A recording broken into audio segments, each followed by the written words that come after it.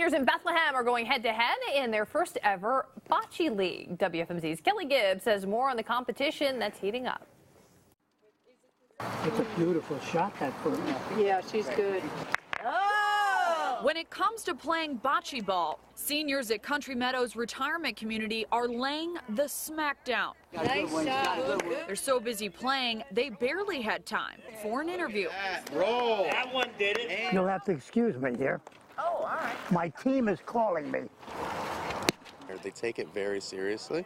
They're a competitive group of people, um, and so they've been playing for longer than I've even known the games. Country Meadows fitness director Chris Swope started the league and got four additional retirement communities to participate. He says the game helps with balance and agility and is a big time help for morale. Just getting them up on their feet and getting them active. Um, everyone still has that sense of competition in their spirit, no matter what age we are.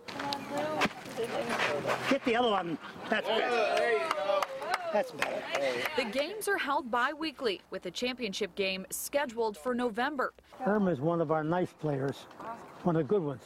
The winner will not only walk away with the league trophy, but most importantly, bragging rights. It's just a competition of it. I suppose I happen to like competition. When asked if the Country Meadows team is headed to the playoffs, Irma gave us the hard truth. Probably not.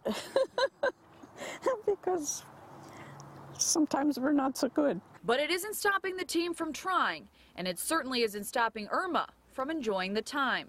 I don't know, I just enjoy it so much. It's something to do to have fun. Some parting advice from the players? Is to be active with something that you like. Okay? And will hopefully be invited back for the face-off in November. In Bethlehem, Kelly Gibbs, 69 News. All right, looks like fun.